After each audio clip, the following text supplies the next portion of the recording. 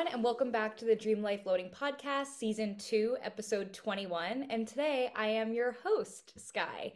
So, Susan is really not feeling well this week, and I wanted to still be able to get on here and do an episode for you guys. And Susan will be back next week, but in the meantime, this is just going to be a little solo Skylar episode. Um, I have never done something like this before, so bear with me, and I would love any feedback. If you hated this style episode, definitely let us know because we won't do it again. Um, if you liked this style episode, also let us know because then will I would love if this goes well to start incorporating some more solo episodes from both me and Susan into the rotation. I think also having some guests in the rotation would be awesome. So if you think you're somebody that would be a good guest for Dream Life Loading, let me know, let us know and we'd love to make it happen. We're looking to expand and grow the podcast and expand our audiences and just do what we can to make this beneficial for you guys, make it a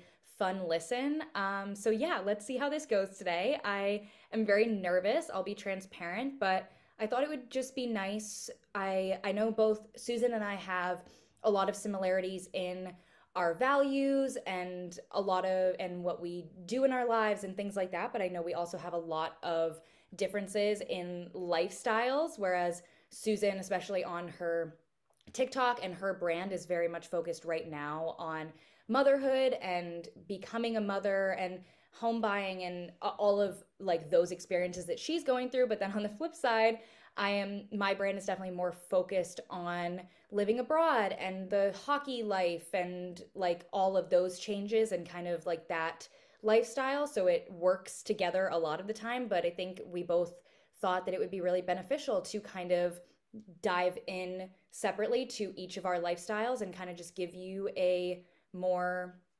in-depth look at our lives and how how things go about. Um, so I have my vanilla or caramel oat milk ice latte here, and um, let's just chat. I want so I think if this is your first time tuning in, hi, I'm Skye. We run I run Dream Life Loading with one of my best friends, Susan Ash, and we started Dream Life Loading in November of 2022. Um, and the brand is really just about inspiring and motivating people to live their dream lives. And so it's a very much a self help, self motivation brand. We have an Etsy shop where you can shop a lot of our digital products. And obviously, we have the podcast here, we have a TikTok. So we're just all about motivating you to be your best self. And it, the brand started from Susan and I's friendship that it, it is and was very much created um, and maintained from us really motivating each other. Like we we started going to the gym together. We so just a like Susan and I's friendship was always centered around wanting to help each other be the best that we can. So we kind of took that friendship and expanded it into a brand that is now Dream Life Loading today. So, anyways, that's Dream Life Loading. And then for me, um, I'm Skye. I'm 24. I graduated college in May of 2022 and I went to school to be a wedding planner, um, or s- less specifically, just an event planner in gen- general. I have a background in journalism a little bit. I did a lot of journalism and writing in high school, and then I have a journalism minor from college. So I love writing, I love reading, I love that side of things. Um, and I really got into interviewing and podcasting actually in high school. I had my first podcast that I did through the high school's magazine that I loved called Voice of the River. Um, and so I think a lot of that passion is still continuing today with doing the podcast here. I love interviewing people, I love getting to know people, and my favorite pieces to write were feature pieces. Just I loved profiles on people. That became like my niche. Um, so I love that side of things. And then the other side is the event planner side. I am obsessed with weddings. I always have been. I am a very planner type A person. So I really, really loved that major in college. And I did an internship, a few different internships and jobs working in weddings specifically. That was always what I was most passionate about. So when I ended up moving to Italy, obviously I had to do a little bit of a career shift. I wouldn't say that I wouldn't say it was a, I mean, I guess for the moment it's a career change, but I think um, I am a strong believer that everything happens for a reason. So I think it's so entirely possible that one day I will go back to that and be a wedding planner. But I also think that all the skills I learned in college help me today, whether that's like career wise or just in life. I think there's so many practical skills and confidence that you learn from college and gain from college. So, yeah. So I met Nick, who is my now fiance, um, in January of 2021. Um, we met through a mutual friend and we were kind of together ever since that first time we met. Um, and I guess we started officially dating in March, if that matters. But um, yeah, so Nick was one year ahead of me in school. So we dated throughout the rest of his senior year. And then he graduated, moved back home to Canada for the summer, and then actually moved to Italy to start his um, or continue his hockey career. He had done hockey throughout all of his years and then played in college and then went to Italy to play pro. So we did a full year of long distance, which I definitely have a lot of advice and tips and everything on how to not only maintain a relationship long distance, but allow your relationship to continue to grow even when you're so apart. Um, and like it wasn't just that we were long distance, like we had a six hour time difference between us. So makes a really big difference. Um, especially with me being in college. Like it was just, it was not easy, but um, I wouldn't change it for the world because I think it really allowed us to strengthen our relationship in ways that we would not have had the opportunity to do if we were in the same place. So, yeah, if you're interested in long distance and like advice and tips and stuff, I would love to maybe do a solo episode um, about all of that. But, anyway, so I finished college. I graduated um, a year later in May of 2022, like I said. And then by that point, I think, not I think, all of my senior year, it was my plan to move to Italy and be with Nick. That was like, we knew. I think one of the biggest things that helped us with long distance was knowing that after I graduated, I would be moving there with him. Like, there was always the end goal to long distance, which made it so much easier in a way because we had something to look forward to. And I was able to visit for um, over a month during my senior year, visit him in Italy, and we got to live together. And although it was only a month, when you're living with your person and not just there for vacation, but you're there for long enough to really experience what life with them would be like, it really helped us to realize, like, okay, not only can we do this, but we really want to do this and we want to live together and have this phase of life and do this, do it together. So, um, we did that. And then I moved to Italy in October of 2022. And it I think I'm I'm very grateful that Nick was already somewhat established here because when I moved, it wasn't like we were both fish out of water.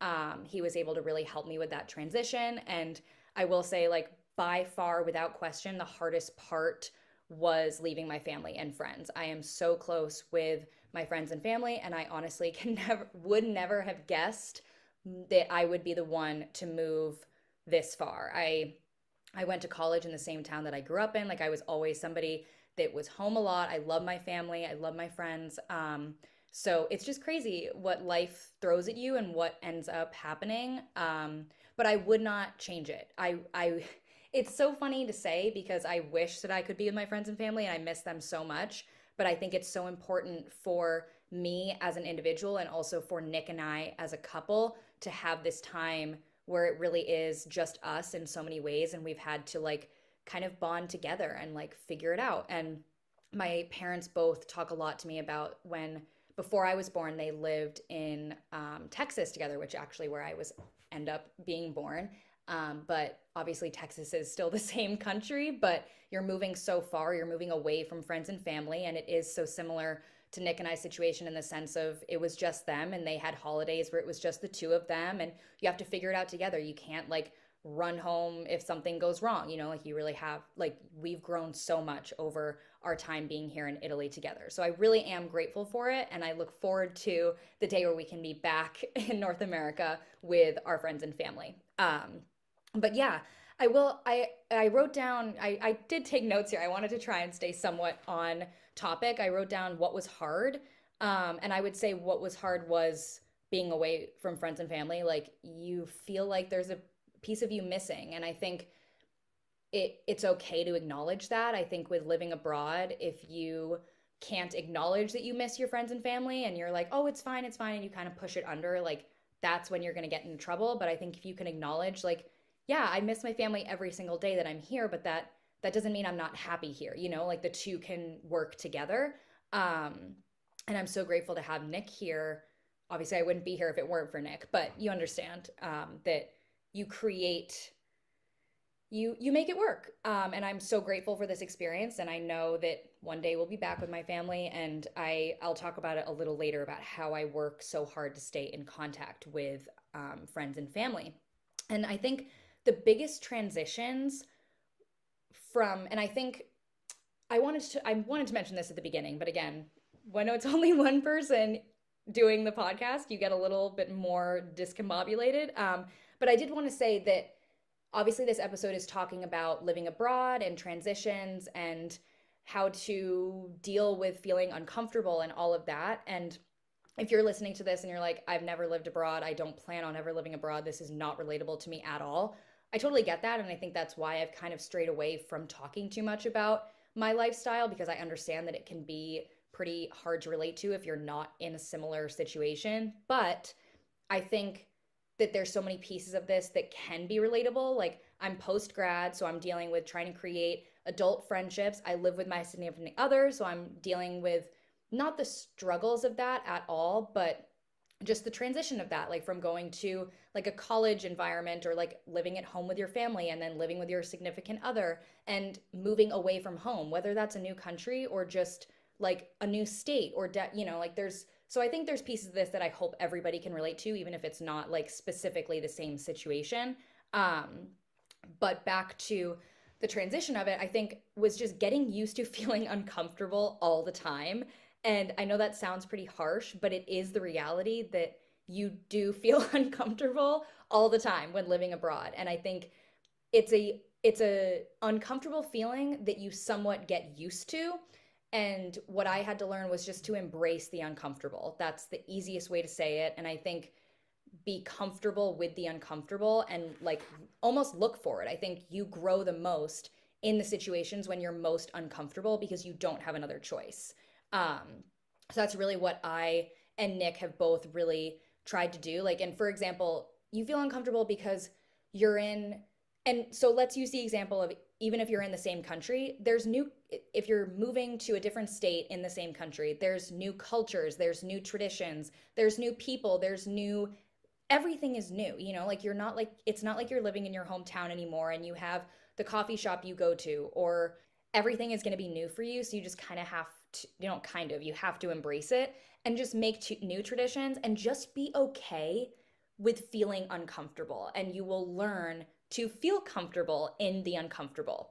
Everything, I think there's a quote, and I wish I could remember the exact quote, but it's something along the lines of like, the best days are the thing, are, what is it?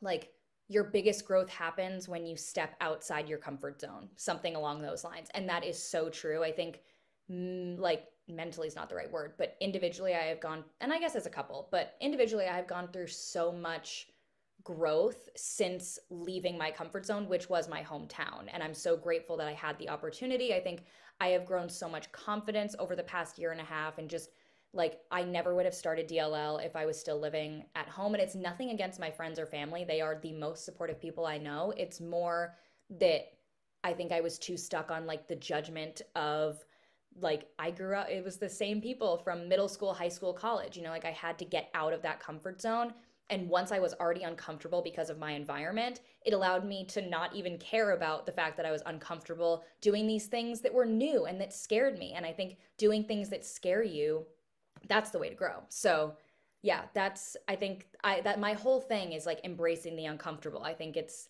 just the best and I think every other piece that I'm going to talk about here kind of goes back to that theme of embracing the uncomfortable. Um, I think the most important aspect of living abroad is finding a community and creating that community. Last year, I feel really grateful that Nick, I feel grateful that living abroad, wherever we are, we have a community of the hockey team um, that always welcomes us in. It's been Nick has been on two teams now um, that he's been in Italy. So this was his second year on this same team here in Merano, and they have become family. They are the most welcoming people. They will help us with whatever we need help with, and they genuinely want you to feel included and want you to feel welcomed. And I know that we could turn to anybody if we need anything, and that's just such a such a comforting feeling when you are so on your own and so like a, literally a fish out of water. Um, so creating family abroad, we definitely had that community aspect last year, and I'm really grateful because I think it made the transition easier for me, probably easier for Nick as well. But then this year, we really created community. We had a lot more uh, imports is the term in the hockey world, or I guess any world. I don't know. We have a lot more imports on the team this year with um, girlfriends, wives, families with them, which makes a big difference. I didn't realize what a difference it would make until we had it. It wasn't, I think, because it wasn't something I ever knew, I didn't know to miss it. And then this year, I feel really grateful for it because it's it's a community of people all living in the same sort of life. Like we're all from other places and we're thrown into this situation. So we can really connect because it's like that shared not shared crisis by any means, but it's the shared environment of all feeling like fishes out of water. So I'm really grateful. We have such a community here that I absolutely consider family, and I know we would all do anything for each other, and it makes this place feel like home because of the people. I wrote down the people make the place, and that's another quote that I stand by. I think the people really do make the place, and you can. It's it's one of those things that makes life feel a little bit more comfortable is being around people that feel like home. Um, and even though these are people that we met in August or September, they are home now to us. And um, I hope we're the same for them. But yeah, it, it makes a big difference. So no matter where you are or what you're doing, if you're experiencing a new phase of life where you're moving or switching jobs or whatever it may be, get yourself out of your comfort zone and meet new people because I am super introverted and I think it's it can be really hard for me to put myself out there and i think that's something i've struggled with too is i am so happy on my couch by myself with my book um, and i have to push myself. I notice that i have to like kind of remind myself like okay like i know you could be happy spending the whole day alone if like nick's at an away game but like you have to put yourself out there. And every time i do put myself out there i'm very happy. I'm like okay, like I'm glad I did this. I'm glad I came out and socialized and hung out with people and continued those bonds with people. But it's always hard for me to make that first step. Um, and I think that just stems from the fact that I definitely recharge my social batteries being alone. But I think it's also just a lot of like past history of like my struggles with friendships and all of that um, that I don't have to go into today. But um, yeah, working at those friendships and working at those community relationships makes such a big difference when you're in a new place. Um, and one of my other favorite quotes is kind is never wrong, which we actually turned into a sweatshirt collection, or I guess shirts too. So a whole little mini clothing collection last year when we still did clothing for DLL. Kind is never wrong actually stemmed from a group chat that I was put in with a bunch of the other hockey wives and girlfriends, and they were all being very kind to me, like asking if I wanted to go to a game with them. And I didn't know how to respond. I just felt very anxious about making sure I said the right thing and setting the right first impression. And well, what what if I should say this or what if and what if what if what if? And I kind of stopped myself and I was like, you know what? As as long as I am kind, I'm not doing anything wrong. And that was where the phrase kind is never wrong was born. And I was. I was kind. I, I, I can almost remember my exact response, um, but it worked out. One of the girls wanted to go to a game with me, and that budded into a lovely friendship. And I think I've really worked very hard to try and carry on that mantra. And it's just being kind and being open and welcoming makes such a difference, especially in this phase of life. Um, and I wrote down, you have to put yourself out there, which is so true. And I think making an identity for yourself, it can be really hard if you are in a situation where you are moving somewhere for your partner. Obviously, I would not be in here in Italy, here in Italy if it weren't for Nick. That's not to say I don't love being here in Italy because I really do, but I am here because of Nick. That's just the fact of it.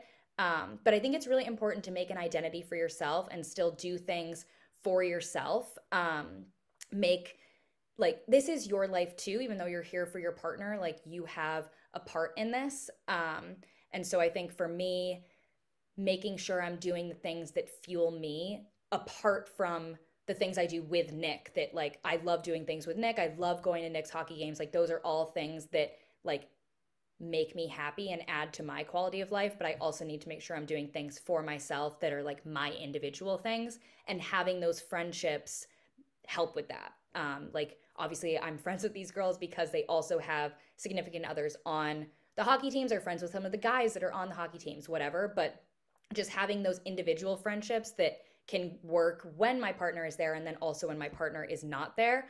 Um, it can feel really, it can be really easy to feel proud of your partner, especially in a situation like this, but you should feel proud of yourself too. And that's something that I'm really grateful that my closest friends from home and my family often reminds me like look at what you're doing and so like don't forget to pat yourself on the back too because like just the fact of choosing to leave your hometown and like it it is something that should be celebrated because um, it's not as easy and it's not always as glamorous as it might look online. Um, making routines for us and for yourself that make it feel like home that's been something that was really helpful i know the routines here in the hockey world can be so crazy like this week there's back-to-back games there's a game every other day whereas in the off season then there's no hockey and it's like okay how do you still maintain routines when the hockey world is changing so quickly around you. But I think sticking to like Susan and I talk about this so often is like having your routines that you can just plop into place when you need to and during those different phases. Like I have a morning routine that I can do no matter what day it is, no matter what we're doing the rest of the day. And that morning routine makes me feel like I'm centered and that like I've had a good start to my day.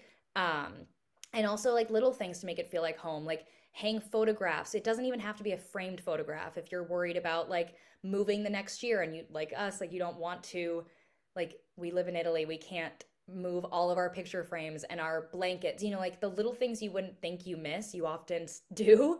Um so moving what you can and then making it work when you're in that space like printing photos or cooking meals that you remember from home things like that make it feel like home.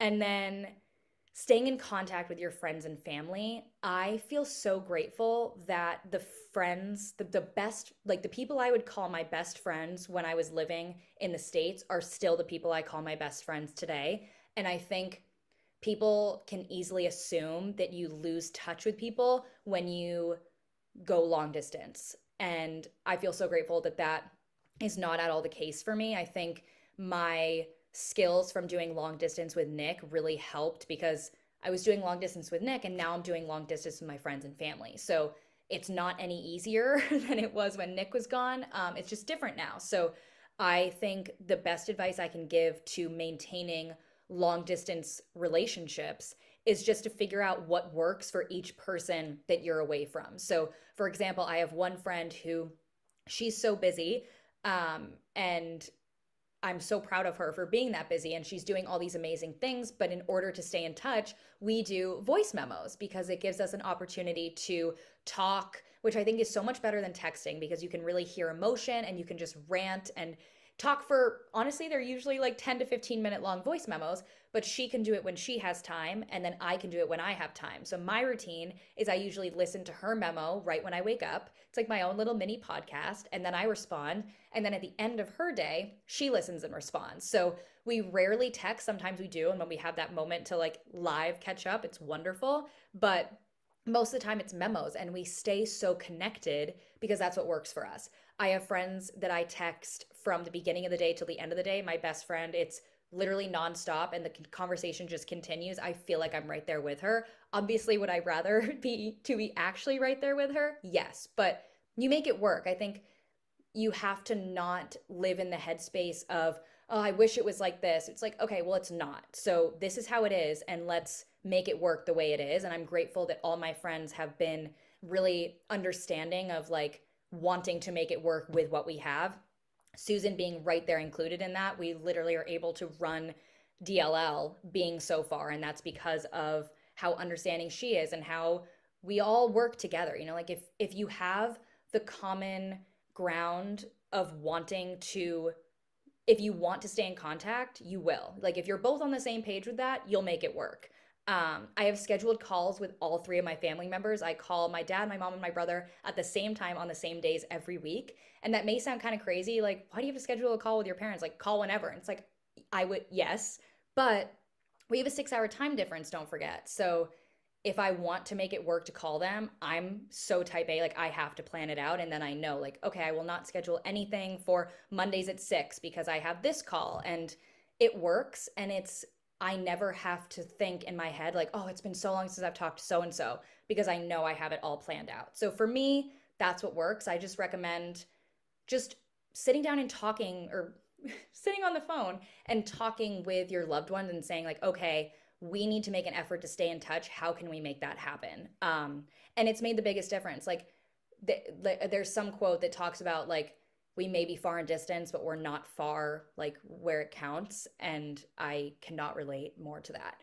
Um, and I think the only other thing I wanted to talk about on this episode was just being humble. I think that goes really far. I think I used to be the type of person that would get very easily embarrassed about the smallest things like no matter like any sort of in any sort of mess up or mistake or even if it wasn't a mess up or mistake and it was just something that I did that someone wants to make fun of or correct me on I would get so red in the face and be so embarrassed and I would spiral and think about it and have so much anxiety over it. And I think that's still I still definitely spiral about some things more than I should. And that's like the anxiety side of things for me personally. But I have learned just let it go. And that's what my mom said. She goes, be like Elsa and let it go, which is so true. And I feel like I've gotten very comfortable with being embarrassed. And I think because of being in a foreign country, I don't really speak either of the languages spoken here. So I have to be,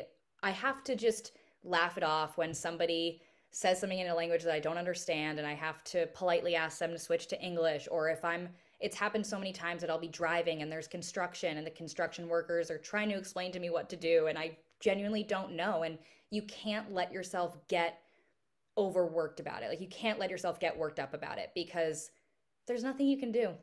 Laugh it off, move on. People are so understanding of the person that's just humble and apologetic. Like, look, I'm sorry. I'm not from here. I don't speak the language. Can you help me? And I think being able to ask for help and showing that vulnerability of like i don't know what to do or i don't understand people really respond well to that. Um, so think about like what you would do. Like if you see someone that looks so confused you would want to help them you know like so do that for yourself and do that for other people. Um, and that's true. Like if there's people here that i can help or we can help in our community or even outside of the community we always do because it goes both ways.